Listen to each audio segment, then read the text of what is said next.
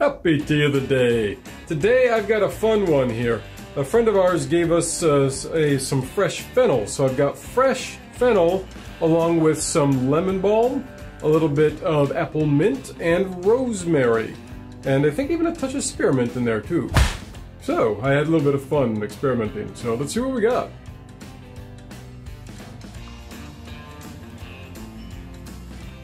Hmm, that's pleasant. Hmm. Yeah, it's very, uh, uh, it's nice because um, I, I think I balanced this one pretty darn well, that everything is kind of coming out and it's got this nice complexity to it. So the, the fennel kind of sits back on the back end there where you initially when you taste it, you're getting more of the lemon balm and the apple mint and the spearmint.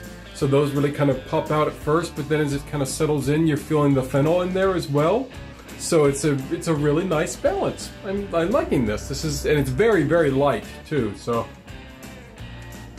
if you like that light tea action, this is going to be a, one that you're going to like for sure. But I, I think I've talked about fennel a little bit in as much as that it's very good for um, some skin conditions and such. Uh, I had talked about it in the way that it's a good anti-inflammatory, and I've also talked about how it's good uh, for along the lines of uh, eczema and other things, but it, I mean, it's an anti-inflammatory, it's anti-spasmodic, it's an antibacterial, antiseptic, and even has antifungal effects. So, give you an idea, it's got a wide range of things that it can fight, which is great.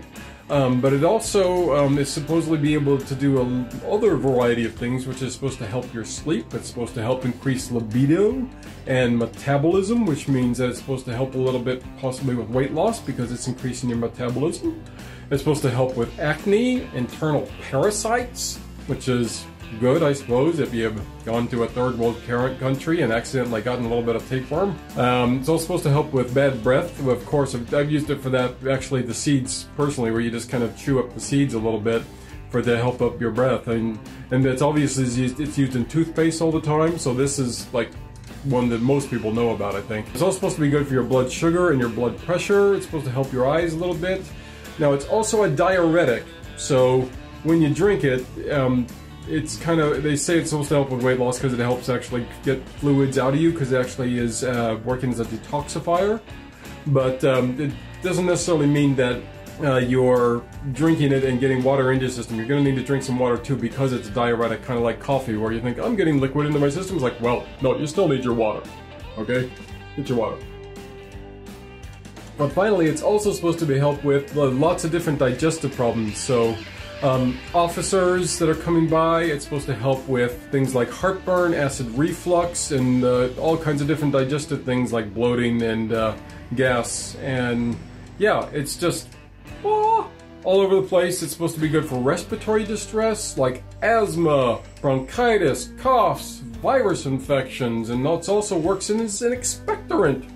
So if you got a cold and you got a lot of gunk up there, a little bit of fennel. All right. Have a good G-Day!